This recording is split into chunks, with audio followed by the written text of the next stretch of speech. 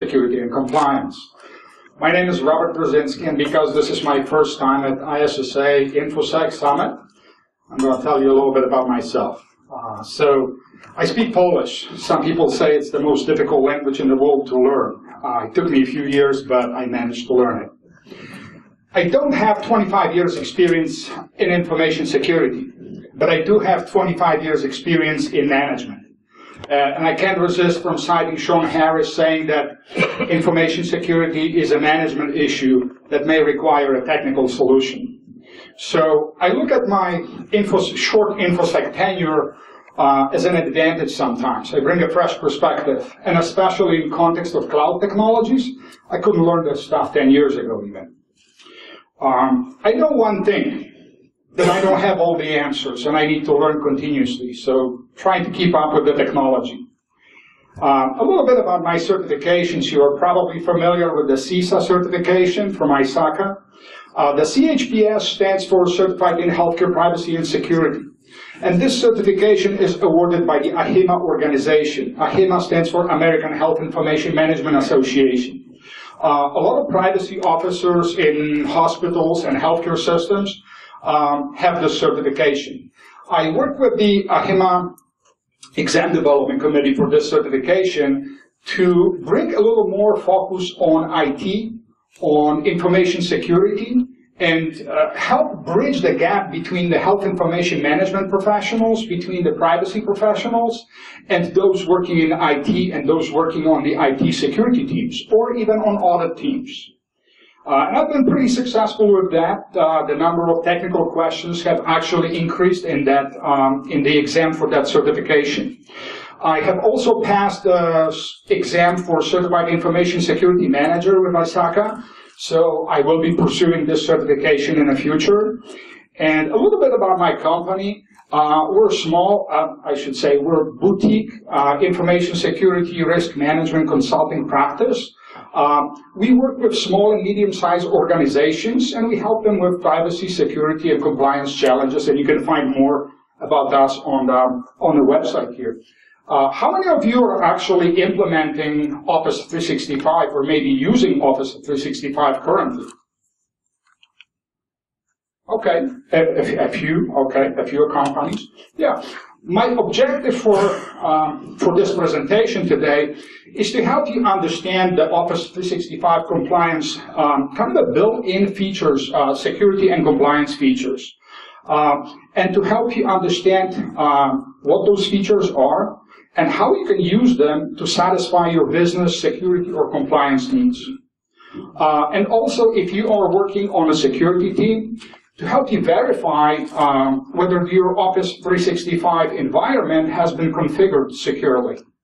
Uh, and if you are on the auditing side of the house, so to speak, uh, how to define a scope for Office 365 environment audit, how to take advantage of uh, available um, reporting and auditing capabilities within the Office 365. Uh, ultimately, at the end, hopefully, um, you will be able to make a kind of an educated decision about whether this solution is uh, fitting your current information security strategy, um, if it fits your uh, business needs within your organization. I should also say that I do not work for Microsoft. I'm not paid for Microsoft. Uh, every um, all, the, all the tools that we use in our consulting practice, uh, we pay for those tools and licenses just like our customers would do so. Uh, so here's the agenda for this presentation. Um, I wanted to talk a little bit about um, priorities in information security, and I wanted to talk about how hackers break in, just a, a very few uh, slides.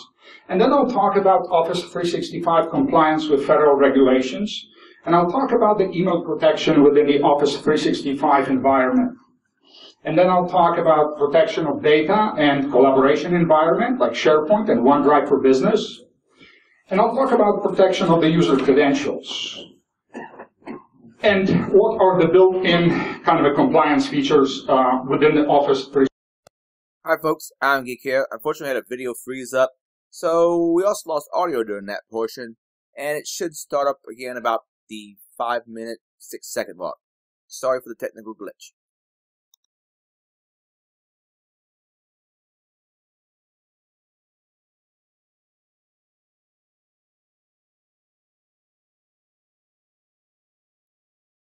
About this. This information comes from Verizon Data Breach Incident Report. And I highlighted healthcare because this is the area that I mostly work with. So, uh, as you see at the, on the bottom row from the left, um, lost devices or stolen assets contribute to about 16% of uh, security incidents, of data breaches uh, in healthcare organizations. And if you are working within a healthcare industry, you know that Office for Civil Rights maintains something that is called Wall of Shame, uh, where all of the data breaches affecting more than 500 individuals are posted. It's a federal website. So, and, and the data from this uh, federal website basically is in line with those findings here.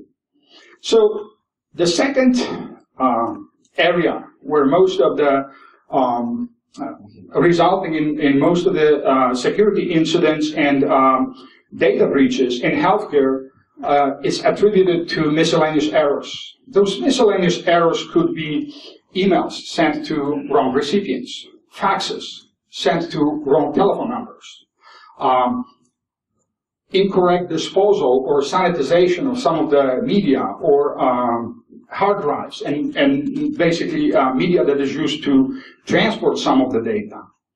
And what's interesting about this, um, what's interesting about this uh, area is that about 60% of those miscellaneous errors can be attributed to administrators' errors. So how do we prevent that? How Office 365 can actually help you, you know, minimize those incidents.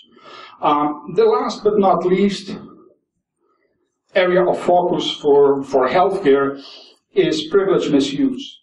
Um, that's where people have too many privileges, and that's when people misuse those privileges and steal data, basically, to monetize them in, in some sort of a way. You may have a chance to review the 2016 California Data Breach Report that came out, I think, in the beginning of March. Um, this report, the findings of this report, are very much in line with the findings of um, Verizon Data Breach Report. And I talk about this because I want to talk, I want to put this conversation about Office 365 in, in context of those three major areas that create issues for healthcare. Just a few more, just a few more words about um, what are the prevailing kind of threat actions for um, organizations that need to uh, protect sensitive data. And this is, again, this information comes from Verizon Data Breach Report. And as you see, uh, credentials, loss of credentials or compromise of credentials is a, a major kind of a threat action that um, organizations are uh, fighting with, so to speak. And phishing also is an important element that we need to pay attention to. So how those um, data breaches and security incidents happen? They very often happen through email. Email is a kind of a primary method of delivery of malicious content and is um, either malicious content or, or uh, emails with links to malicious websites where users can click on the links, go, and um, if their devices are not updated, uh, vulnerable, can uh, get infected with malware, and that may ultimately lead to a data compromise. Um, sometimes lost devices lead directly to kind of a data loss, uh, but lost devices also lead to a data compromise ultimately. And that may result in um, you know, compromise of uh, credentials that allow the bad guys to access uh, corporate networks. Uh, and lost devices also contain a lot of data that may be sensitive and need to be protected. So I'll talk about Office 365, how Office 365 can help you um, protect emails, protect data in collaboration environment like SharePoint, and how Office 365 can help you protect user credentials. But before that, I'm going to focus a little bit on the compliance of the Office 365 solution. So if you are, you can use uh, Office 365 Trust Center kind of a uh, keywords to search for Office 365 Trust Center uh, website. that actually lists all of those regulatory frameworks uh, that Office 365 complies with. And it also lists um, uh, some additional information. I wanted to highlight just a few things. Um, Office 365 complies with the HIPAA regulations. What that means is that the subscribers to Office 365 can actually sign a business associate agreement with Microsoft, uh, which is part of the regulatory requirement uh, in HIPAA regulations. In November 2014, um, Office 365 has received uh, authorization to operate from FedRAMP. FedRAMP stands for Federal Risk and Authorization Management Program. What that means is that basically the federal review, if you will, uh, approved the use of Office 365 for uh, federal, state, and local governments. Um, they said it's okay to use this tool um, for uh, various government entities. But Microsoft has also signed CJIS addendum. CJIS stands for Criminal Justice Information Systems. They have signed an addendum with California, with New York, Texas, and, and Illinois, four largest states in the United States. What that means? That means that the law enforcement agencies and the criminal justice systems, or criminal justice agencies, if you will, are okay with using Office 365 to conduct their business. Uh, I think those are pretty significant um, kind of steps in uh, transparency of how this solution meets various regulatory requirements. I also wanted to add, because a lot of people um, in security, I think when you are making that step and starting adopting cloud solutions, uh, for a lot of people, um, there's always an issue about, okay, how are we going to trust into uh, this, those tools, those, those cloud-based tools, without having a total control of those tools? And that is definitely an issue. But that's why you need to select a trustworthy partner that uh, meets some of those regulatory requirements and um, has been verified by um, maybe a government organization or uh, organizations like uh, Cloud Security Alliance. For me, if Office 365 is okay to be used by federal, state, and local governments, if it meets the requirements of um, law enforcement agencies, it's okay for my small or medium-sized business. I also wanted to add that based on some Microsoft presentations, uh, Microsoft says that they have spent over $50 billion in their security investments. Um, I'll tell you one thing. Last year, Microsoft acquired 15 companies. That's more than Google or Facebook. Google and Facebook are very aggressive about acquiring new companies. They have acquired Adallom, they have acquired Secure Islands, they have acquired um, Revolution Analytics. All those companies, so some of those companies deal with big data analytics. Some of them deal with uh, protection of um, users in a cloud environment. And some of those companies deal with identity protection in um, cloud environment. So for me, those are pretty strong um, endorsements, if you will. So let's talk about email protection and um, how Office 365 protects uh, users' emails. If you have an on-premises Exchange environment, a lot of those features that are available in Office 365 are very familiar to Exchange administrators because those features are very, uh, very similar. The Exchange uh, online protection provides phishing and malware protection for emails. Um, the things that I really wanted to highlight is um, anti-spoofing technologies available in Office 365, actually protecting your users' uh, emails um, from phishing attacks. I also wanted to emphasize uh, an add-on set of features available in Office 365 that is called Advanced Threat Protection. This is actually some pretty neat set of tools. Um, when an attachment is detected in an email, the advanced threat protection actually explodes these attachments in the um, kind of a sandbox environment before delivery. If any anomalous content is detected in this attachment, the, the recipient of an email will not receive that attachment. Um, The advanced threat protection also in real time does a behavioral analysis of the links that are included in an email. If those links are leading to a malicious website, the users, when they click on the link, they will actually receive a warning that they are about to visit a malicious website. What is even more interesting is the fact that administrators have a pretty good view into who is targeted with those malicious uh, emails or emails with the malicious content. They can also see who is clicking on those links uh, to malicious websites. So they really receive a feedback like they would receive from any kind of a phishing tool used to test employees, for example. So I find this pretty, uh, pretty helpful. Office 365 also provides um, set of protection features or safeguards um, that are focused on outbound email.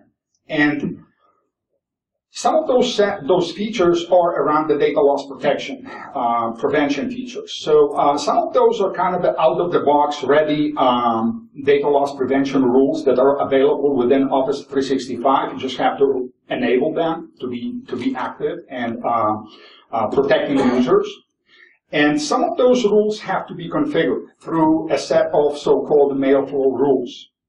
Uh, and those mail flow rules actually allow you to also configure uh, data loss prevention rules for uh, maybe that are very specific to your organization. Uh, the mail flow rules also allow you to configure Office 365 automatic encryption uh, and decryption of emails. Uh, and they also allow you to implement what I call an email supervisory workflow. Uh, an email supervisory workflow is um, a feature that you could use, for example, for uh, employees that are suspected of, of, misbehavior, or you can use it for junior employees. Let's say you have a junior employee who is just starting work in your company and is assigned uh, a very important client account.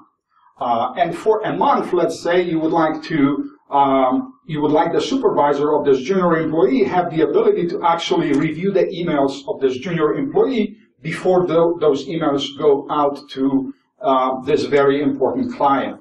So uh, that's why you create that kind of an email workflow that allows the supervisor to review the email, uh, reject it, or approve it and send it forward. So those are some of the some of the good features that actually help you prevent some of those miscellaneous errors from happening. And I also wanted to mention that um, Office 365 provides you uh, certain ability to control mobile devices at, uh, and access to um, email and Outlook on mobile devices. So for organizations that don't have a separate uh, mobile device management solution, this is uh, putting in place at least basic safeguards.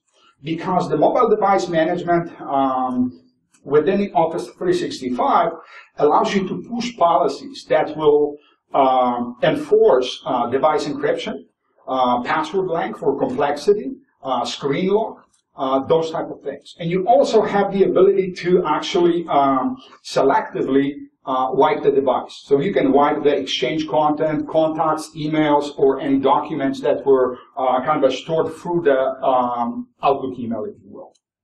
So some of those, like I said, those are pretty neat features that allow you to uh, especially for smaller organizations that may not have the resources for you know a more advanced mobile device management solutions.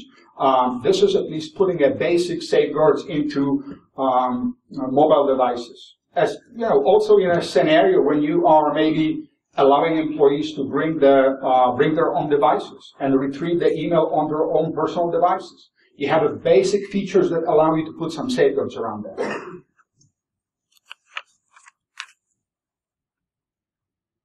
Um, these are just uh, basic screenshots, kind of examples of how the um, data loss prevention rule work. And for example, this set of data loss prevention rules here uh, detects uh, IP addresses. And the users are basically um, presented with a policy tip uh, that tells them that they cannot send this email. Uh, you may also incorporate um, mail flow rules that will allow the users to override the policy and send the email. Um, the administrators will be able to see through some of the reporting capabilities um, how the data loss prevention rules actually work and who is overriding or, or, what type of messages are being overridden. So you can actually tweak how your data loss prevention rules uh, work within your environment for your organization. Uh, and the second screenshot, screenshot on the right, this is uh, a recipient experience of Office 365 encryption, encrypted email or encrypted messaging. I love this solution because you can send encrypted email to anyone outside of your organization. And the recipient of an encrypted email can retrieve it on a mobile device or on their computer. And what they can do also is they don't have to have Office 365 subscription. They don't have to have Microsoft account to retrieve this, this encrypted message. They can use a one-time one passcode to retrieve that message. Uh, even uh, more importantly, they can respond in an encrypted in, a, in an encrypted, secure way to, uh, the sender uh, through the same encryption uh, portal, and um, they can even attach uh, attach uh, attachments to those messages. So it's it's a pretty useful feature. This is just a slide that shows some of the compliance features built into Office 365. Again, some of those compliance features will help you prevent some of those uh, privilege misuses, okay? So I talked about the data loss prevention rules, and from the legal perspective, Office 365 offers the e-discovery and lit litigation hold capabilities. So um, you can actually assign the roles within Office 365 to your HR people or to your legal team to be the e-discovery manager and collect information in situations when you have a, some sort of an investigation going on. Uh, you also have the ability to, you know, configure retention policies, archiving, and you have a set of auditing reports. Um, I really like auditing reports and, and, capabilities within Office 365, not only for um, kind of the auditing purposes or compliance purposes, but also for security purposes. Um, and you have reports that will tell you uh, whether the admins are accessing any um, non-owner mailboxes, what are the admin's activities within your Office 365 environment, within the exchange in this particular situation. So let's talk about protection of the data in, um, in the SharePoint environment, um, in the collaboration environment. Again, this is um, the security in the SharePoint environment is to help you prevent those miscellaneous errors from happening. Those miscellaneous errors will also include the fact that sometimes people post sensitive data on um, public sites that should not be access, accessible um, to the public. It happens. SharePoint can prevent that. Office 365 is a public cloud solution. And I know a lot of people have issues about that. But that's where, you know, the whole concept of public cloud starts, and that's where we start talking about the security architecture, uh, separating tenants. In SharePoint, uh, when you create different sites for different purposes, those are like data containers that basically allow you to maintain that logical separation of data. So there is no way the data can spill from one site to another. Uh, this logical separation also helps you um, manage permissions for those sites because they're separate. So it's probably more less less probable that you will make a mistake and assign privileges to individuals who shouldn't be accessing certain sites. Um, as I mentioned, the, the uh, ability to manage permission is very granular within uh, Office 365, within SharePoint environment. You can allow people to see the entire sites, or you can allow them to see only specific documents or site folders.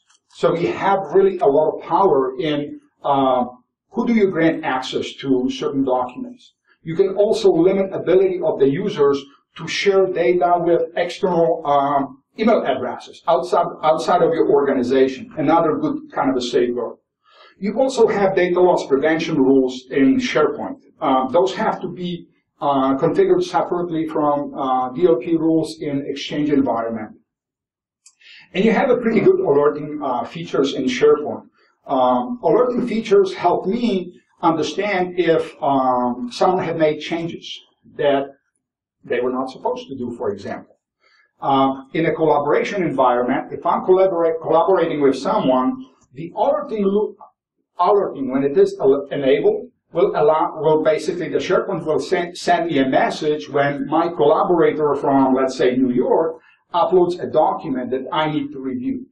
Um, I will receive the automatic message so I can kind of add my two cents to that document or project that we are working on. Uh, from the administrator's perspective, like I said, a very good feature to have an understanding who has uh, viewed certain documents, who has uh, edited certain documents.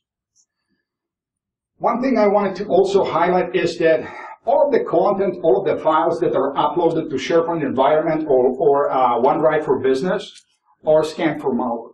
So on the other hand, when you are downloading something from a SharePoint environment or OneDrive for Business, there is a fair amount of assurance that those files do not contain uh, malicious content. Um, one other thing, you know, in uh, from the beginning of the year, we had a lot of um, kind of a, um, media articles about ransomware infections in, you know, hospitals in California, in Kentucky, in Germany. Um, it, it just became a, a, a very um, kind of a, a, thing that, that creates a lot of anxiety and, and excitement about um, SharePoint and OneDrive for Business actually allow you to recover documents from computers that were possibly infected with ransomware. Uh, sometimes people, what people do is you create, you automatically synchronize documents from OneDrive for Business with your, uh, um, with the cloud, right? And you can also create automatic syncing for some SharePoint sites or folders. So let's say your device is, is um, infected with ransomware and all your documents are encrypted. Those um, folders uh, on your computer that point out to OneDrive for Business or shared uh, SharePoint site uh, libraries or folders or, or sites, those documents in those folders will be encrypted as well and will be automatically pushed to the cloud in an encrypted format, right? That thing for all of the consumer grade products like Google, uh, like OneDrive, the regular OneDrive Microsoft, or Google Docs, or things like that, you are losing those documents because they're being encrypted and they're being pushed to the cloud and you cannot recover them. In SharePoint or OneDrive for Business, you actually have something that's called version history. So because those encrypted files will have a different hash signatures, they will have a different version recorded by uh, SharePoint or OneDrive for Business. So you can go, log into your environment and actually find the older version and recover your documents. So it's a kind of a feature that helps you recover a little better. I also wanted to highlight the um, information rights management, oftentimes referred to as rights management services within a SharePoint environment and within a desktop environment as well. Um, rights management services, think of it as a as an, a file encryption feature with um, with classification policy applied at the same time. So the rights management services allow you to protect documents in a form of file encryption. It allows you to uh, limit access and editing capabilities to, for specific uh, people that are allowed to uh, see those documents, that, are, that, that those documents are shared with. It allows you to manage content expiry and um, allow, allows you to track who has viewed the documents. Uh, so those are some additional kind of safeguards that you can put in place. Uh, this is an example of rights management services and how they work in, in kind of a real-time or real-life scenario.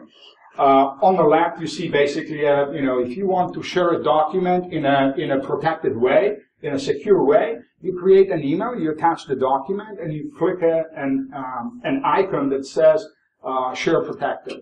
Uh, that automatically opens the um, ad protection uh, window, and you can um, decide uh, what level of editing capabilities are you willing to give the recipient of this document, whether you want to, whether you want the content to expire at a certain date, uh, and if you want to keep track of, um, you know, who has viewed this document Is that dependent on the individual, like email, or is that a setting you could do, like kind of like a global by group?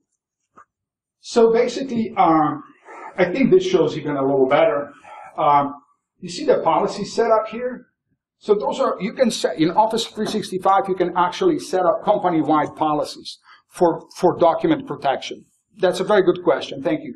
Which makes it easier in, you know, um, managing how people can share documents. Yeah.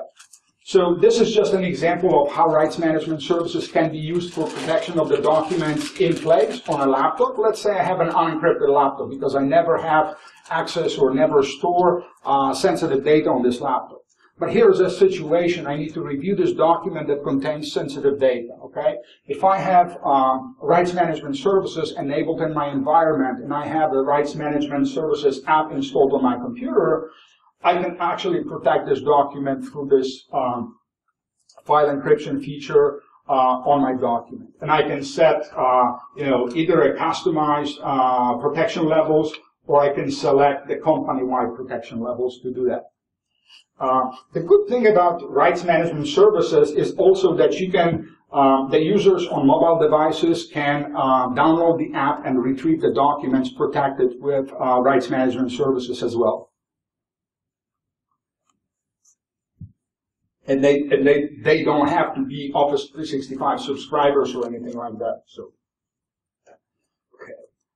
Um, SharePoint compliance, these are just a couple um, kind of items, characteristics about SharePoint compliance. Again, you have the data loss prevention rules that you can configure and protect um, your organization from, you know, accidental data leakage. Uh, you have the e-discovery capabilities and you can uh, configure your retention policies and archiving policies. And you have a set of auditing reports that allow you to see what's going on in your environment.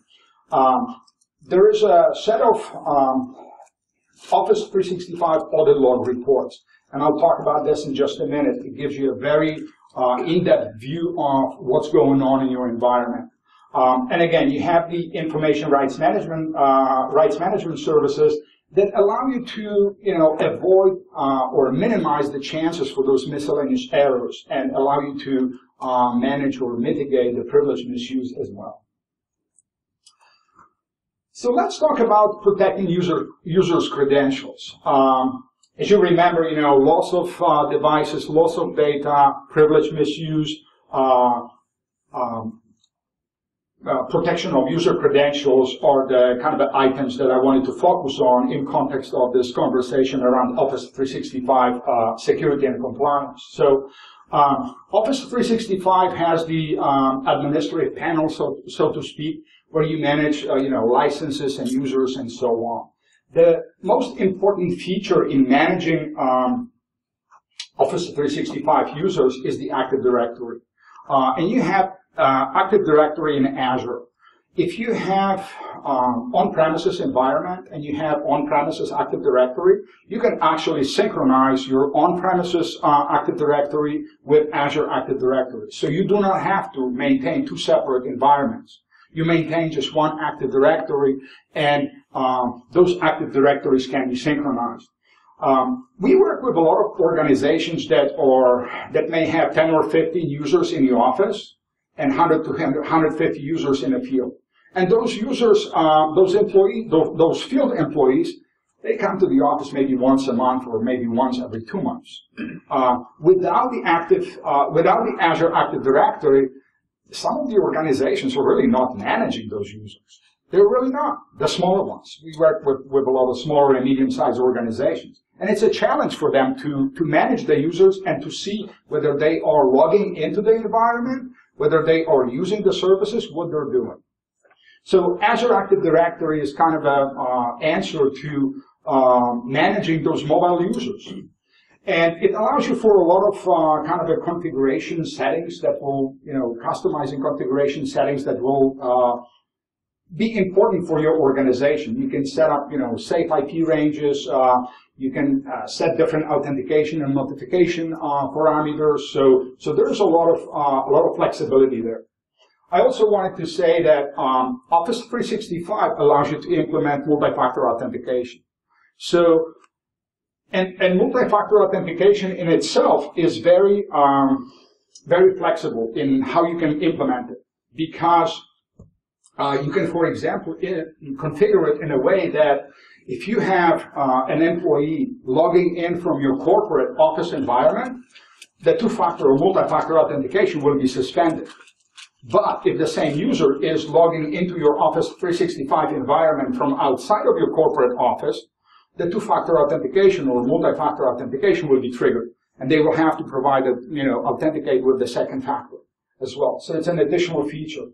Uh, recently, uh, Microsoft actually rolled out a number of um, um, kind of additional features that help you um, manage better, I think, um, Azure Active Directory. And I'll talk about this in just a second. But um, Azure Active Directory Identity Protection Services allow you to basically, um, in a very concise uh, way, understand whether which of your users are potentially at risk or um, which of your um, sign-ins, so to speak, uh, are anomalous and uh, need to be investigated further.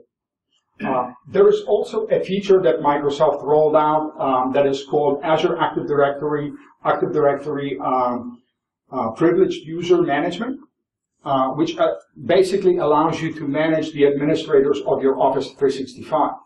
And you can manage those administrative rights through assign, basically uh, removing the permanent administrative rights to your Office 365 environment and only assign them on a temporary basis uh, with the two-factor authentication. So that's a, that's an additional, I think, very strong feature because obviously administrators, I mean, they can do a lot of things in your entire cloud environment. So that's, I think, a, uh, a security feature or safeguard that, that should be um, kind of paid attention to.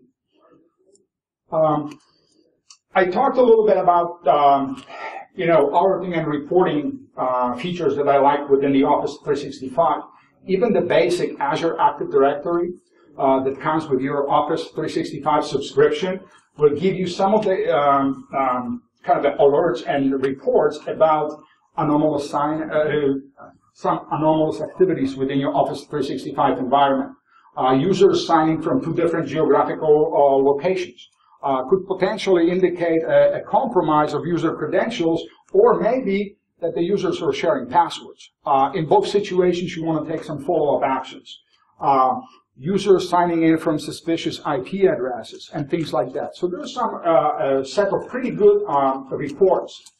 So I talked a little bit about the Azure Active Directory reports, and if you have an Azure Active Directory premium subscription, you will have even a, you know more in-depth access to um, reporting capabilities that will tell you whether the users are potentially signing in from uh, devices that are maybe infected. Um, a lot of a lot of insight. There's also a set of uh, reports, kind of auditing reports in Exchange um, uh, for the Exchange environment. Uh, and I think some of those reports, you know, they point out what the administrators are doing in your environment. Uh, I look at those reports oftentimes not just to um, control the admins, but also to protect the admins. Because uh, people sometimes question, what do the admins do? What do they have access to? Uh, and I think Office and those reporting capabilities provide significant amount of transparency and ability to answer some of those questions. Uh, some of my uh, clients, you know, they often often ask, you know, will the admins have access to my email? Uh, this is a common question about the, from the end users, especially in smaller organizations when they use external vendors to uh, manage their um, you know, IT infrastructure.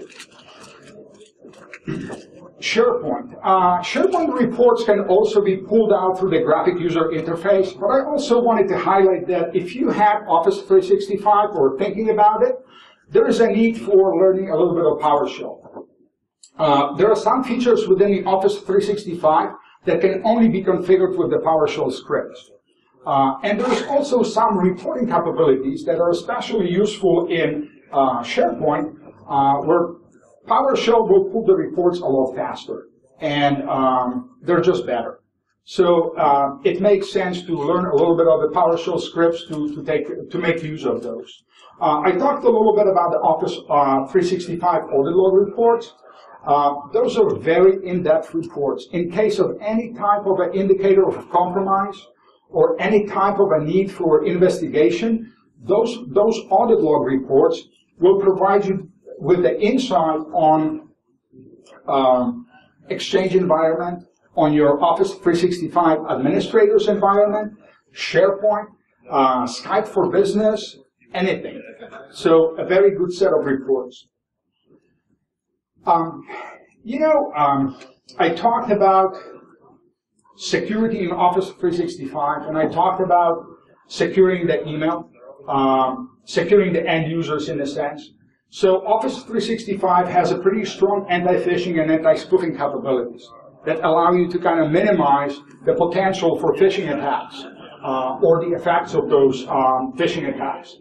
It has a significant features that allow you to protect the data, and I talked about the data loss prevention rules uh, in SharePoint and in your Exchange environment. So basically, if somebody is trying to send social, you know, an email containing a document or containing a content that has a social security number, so I'm just trying to be extreme at this point, uh, the data loss prevention rules will help you um, contain the potential uh, data leak, okay?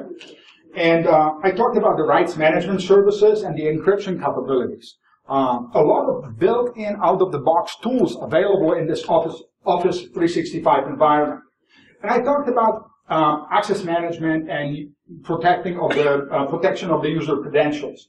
Azure Active Directory, strong reporting capabilities, a very good configuration features, and uh, multi-factor authentication. Easy to manage and easy to deploy.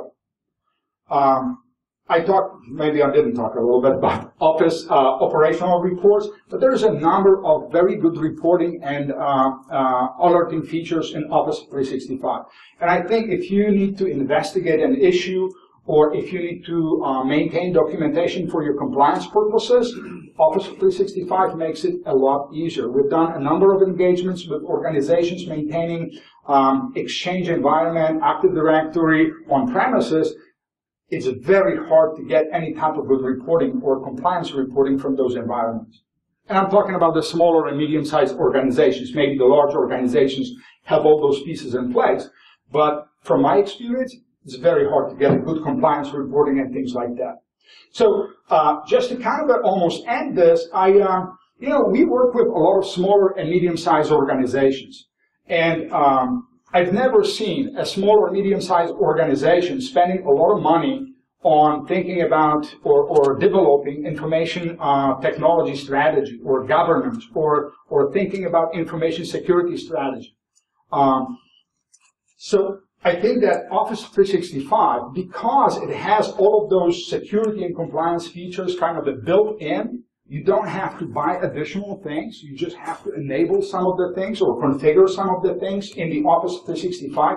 I think Office 365 is a kind of a shortcut for a lot of those smaller and medium-sized companies or those maybe working in, uh, I call it a very distributed environment, when you have a lot of satellite offices, when you have a lot of people in the field, uh, I think uh, this solution allows those organizations to implement a pretty solid uh, um, information security strategy and build the rest of the strategy around around this particular solution. So, um, you know, I talked a lot about Office 365 email and uh, document protection and uh, SharePoint environment. Um, but email and credential protection is not everything in security, right? So here is something that I use for our company. And on the right, you see this is basically an example of Azure uh, security services and auditing services. So on the right, I see basically uh, status of my devices. I have a little bit of a vulnerability perspective on my environment, whether those devices are updated, whether the operating system is updated, whether they are running antivirus software, okay? Now, on the left, I see a little more interesting information. Computers with clean event logs, policies changes, policies changed, uh, user accounts changed. Uh, this the uh, IP addresses that are suspicious, maybe locked out accounts, failed logins. What are those? Those are all potential indicators of compromise, right? I'd like to know about those things because those things will actually help me focus on what I need to do, what I need to look at, what I need to investigate more. And then I can use the, audit, the Office 365 uh, audit logs. So to me, this is a pretty, uh, pretty good environment to look at, pretty good platform to look at and see if, uh, you know, um, there are any anomalous activities detected in my environment. Uh, it helps me kind of uh, focus on what I need to look at, look next. Okay, so um, with that, I just um, wanted to say thank you, and if you have any questions, I'll be happy to answer those. Okay, thank you.